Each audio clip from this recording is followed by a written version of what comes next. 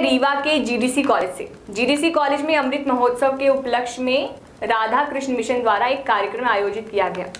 दरअसल आज़ादी के पचहत्तरवें वर्ष को अमृत महोत्सव के रूप में मनाया जा रहा है। इस उपलक्ष्य में पूरे देश में सांस्कृतिक कार्यक्रमों के आयोजन किए जा रहे हैं। रीवा के जीडीसी में रामकृष्ण मिशन के द्वारा अमृत महोत्सव के उपलक्ष्य में एक कार्यक्रम का आयोजन किया गया, जिसमें विवेकानंद की जीवनी पर प्रकाश डाला गया।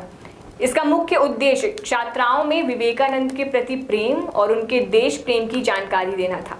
आपको बता दें कि अमृत महोत्सव के अवसर पर जगह जगह कार्यक्रमों का आयोजन किया जा रहा है। आइए, आपको दिखाते हैं कुछ कार्यक्रम की झलकियाँ और सुनाते हैं। विवेकानंद के अनुयायियों ने क्या कहा?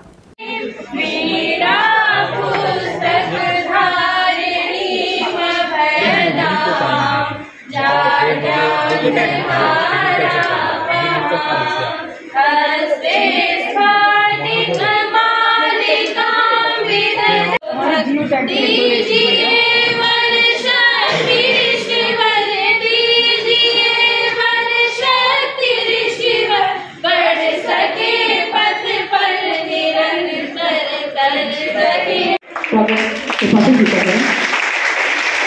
स्वागत करूँगी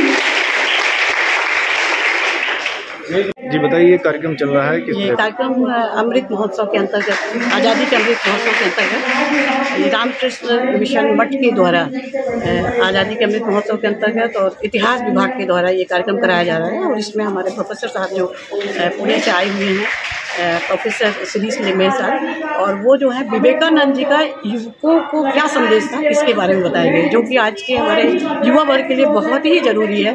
यह स्वामी जी क्या बोल गए हैं? और आज जो है उनको ये ज़रूरत है कि ऐसे आप जैसे विद्वान प्रोफेसर आए और उनको इस प्रकार से हमारे युवकों को संदेश दिए नाम बता दीजिए मेरा डॉक्टर विभाष श्रीवास्तव विभागाध्यक्ष इतिहास।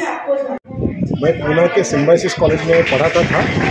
अभी मैं स्वामी विवेकानंद जी के जीवनी के ऊपर उनके विचारों के ऊपर युवकों को बता के उनको प्रेरित करके उनकी जीवन कैसे अच्छी बने और वो अच्छे नागरिक कैसे बने इसके लिए मैं प्रयत्न कर रहा हूँ। इसलिए मैं इस महाविद्यालय में आया हूँ। क्या नाम है आपका? मेरा नाम है शिरीष लिमये। डीसी कॉलेज में आज कार्यक्रम चल रहा है। क्या कार्यक्रम हो रहा है? किस तरह का?